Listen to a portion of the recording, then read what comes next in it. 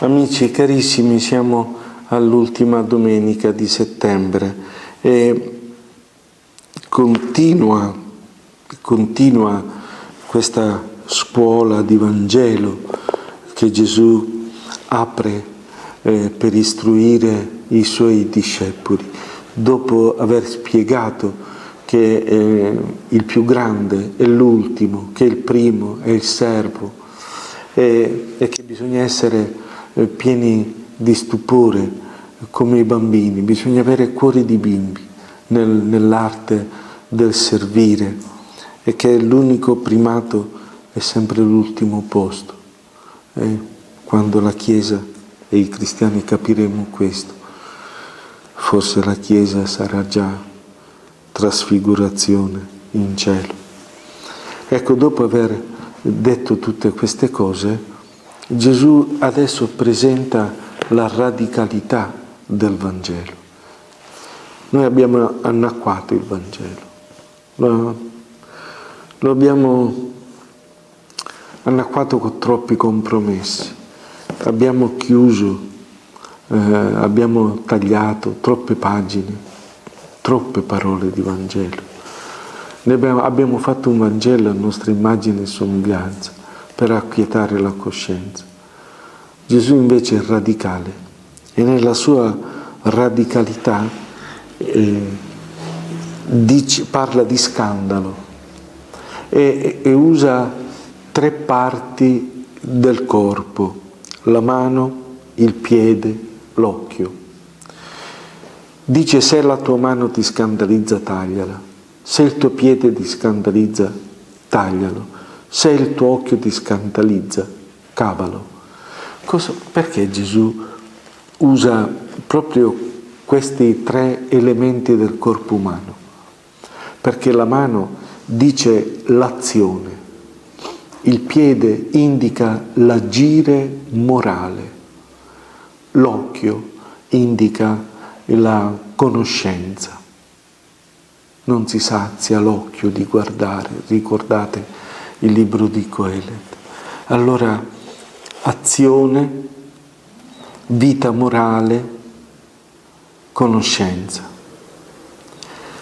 Queste tre cose devono essere purificate in modo radicale. Il nostro agire non possiamo più, non possiamo più agire così con tanti compromessi. No, Gesù dice è meglio entrare in paradiso con una mano sola che averle tutte e due e andare a finire all'inferno. Quindi purifica in modo radicale il tuo agire, il tuo modo di agire. Purifica in modo radicale la tua vita morale.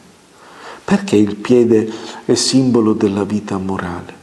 Perché la vita morale, cioè il comportamento secondo Dio, secondo le scritture, secondo il Vangelo, in ebraico si dice alaka, che di per sé vuol dire camminamento. Eh?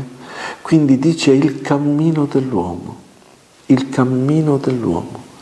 Ecco perché è il piede simbolo della vita morale.